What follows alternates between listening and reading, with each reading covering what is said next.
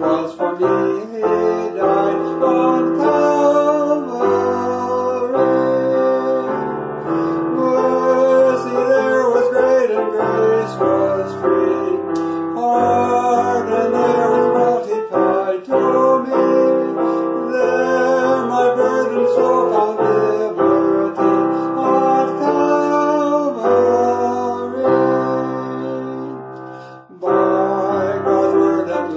was